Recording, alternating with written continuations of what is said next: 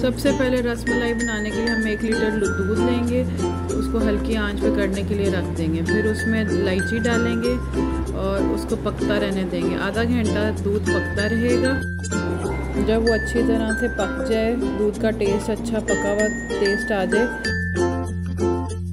फिर हम इसमें आधा कप चीनी ऐड कर देंगे और उसके बाद उसको थोड़ी देर और पकाएँगे। लजीज़ा की रसमलाई का पैकेट लेंगे, उसको बाउल में डालेंगे, साथ उसमें एक अंडा और पाँच चम्मच ऑयल के डालेंगे। ऑयल आप कोई सा भी ले सकते हैं, देसी घी या कोई भी। अच्छे से मिक्स करने के बाद अब हम उसके अच्छे से बॉल्स बनाने के बॉल्स में कोई भी क्रैक्स नहीं होने चाहिए। और इसको ज़्यादा देर आपने रखना नहीं है। बॉल्स बनाने के बाद आपने इसको फ़ौर दूध में डाल देना